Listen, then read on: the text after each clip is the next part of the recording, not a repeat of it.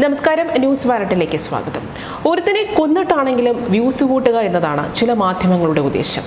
ഇന്നലെ ഒരു പ്രമുഖ ഓൺലൈൻ മാധ്യമത്തിൽ പാമ്പ് പിടുത്തക്കാരനായ ബാവ സുരേഷിന്റെ നില അതീവ ഗുരുതരമാണെന്നും അദ്ദേഹം അത്യാസന്ന നിലയിലാണെന്നും മരണം സംഭവിക്കാമെന്നും സൂചിപ്പിച്ചുകൊണ്ട് ഒരു വാർത്ത നൽകിയിരുന്നു.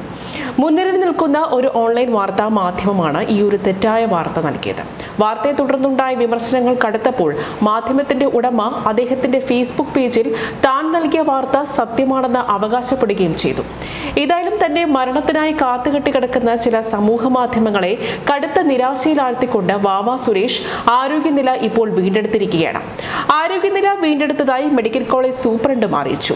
തന്നെ വാർഡിലേക്ക് മാറ്റുമെന്ന് വാവ സുരേഷ് തന്നെ ഫേസ്ബുക്കിലൂടെ ഇപ്പോൾ അറിയിച്ചിരിക്കുകയാണ്. രക്തം കട്ട പിടിച്ചു തുടങ്ങിയതിനെ തുടർന്നാണ് അദ്ദേഹത്തിന്റെ ആരോഗ്യനില പൂർവസ്ഥിതിയിൽ എത്തിയത്.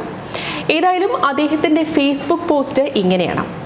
പതിമൂന്ന് രണ്ട് രണ്ടായിരത്തി ഇരുപത് പത്തനാപുരത്തിനടുത്ത് വെച്ച് അണലി പിടികൂടി പുറത്തെടുക്കുന്ന സമയത്ത് അപ്രതീക്ഷിതമായ ഒരു കടി കിട്ടുകയും തുടർന്ന് തിരുവനന്തപുരം മെഡിക്കൽ കോളേജ് ഹോസ്പിറ്റലിൽ പ്രവേശിപ്പിക്കുകയും ചെയ്തു. ആരോഗ്യനില വഷളായതുകൊണ്ട് ഹോസ്പിറ്റലിൽ വെച്ച് തുടർ ചികിത്സാപരമായി എം ഡി ഐ സിയിൽ പ്രവേശിപ്പിക്കുകയും ചെയ്തു. ഒരുപാട് ഫേക്ക് ന്യൂസ് വരുന്നത് കൊണ്ടാണ് ഇപ്പോൾ ഈ പോസ്റ്റ് ഇടുന്നത്. സോഷ്യൽ മീഡിയയിലും നവമാധ്യമങ്ങളിലും കൂടി വരുന്ന തെറ്റിദ്ധാരണയായ വാർത്തകൾക്ക് പിന്നിൽ ആരും പോകാതിരിക്കുക.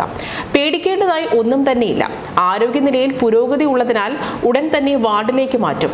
എം ഡി ഐ സിയിലായതുകൊണ്ട് ഞാൻ ഇതുവരെ ഒന്നും പങ്കുവയ്ക്കാതെ ഇരുന്നത് വാർഡിലേക്ക് വന്നതിന് ശേഷം എന്റെ ആരോഗ്യ പുരോഗതികൾ ഈ പേജിലൂടെ അപ്ഡേറ്റ് ചെയ്യുന്നതാണ്. മെഡിക്കൽ കോളേജ് ഹോസ്പിറ്റലിൽ സൂപ്രണ്ട് സാറിനും ഹോസ്പിറ്റൽ ജീവനക്കാർക്കും എന്നെ സ്നേഹിക്കുന്ന എനിക്കു വേണ്ടി പ്രാർത്ഥിക്കുന്ന എല്ലാ സഹോദരി സഹോദരന്മാർക്കും ഒരുപാട് നന്ദി രേഖപ്പെടുത്തുന്നു.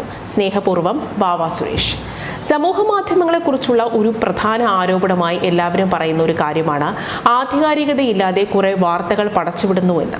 എങ്ങനെയെങ്കിലും കുറെ വ്യൂസ് കൂട്ടി കാശുണ്ടാക്കുക എന്നത് മാത്രമാണ് ഇവറ്റങ്ങളുടെ ലക്ഷ്യമെന്ന്. എന്നാൽ അങ്ങനെ ചിന്തിക്കാതെ വാർത്തകളെ ഗൗരവത്തോടെ സമീപിക്കുന്ന മാധ്യമങ്ങളും സജീവമാണ്. ഇത്തരം വ്യാജ വാർത്തകൾ വരുമ്പോൾ മൊത്തത്തിൽ സമൂഹ മാധ്യമങ്ങളെല്ലാം വ്യാജ വാർത്തകൾ പടച്ചുണ്ടാക്കുന്ന ഒരു ഹോൾസെയിൽ വിപണിയായി കരുതരുത് എന്ന് ദയവായി അപേക്ഷിക്കുന്നു.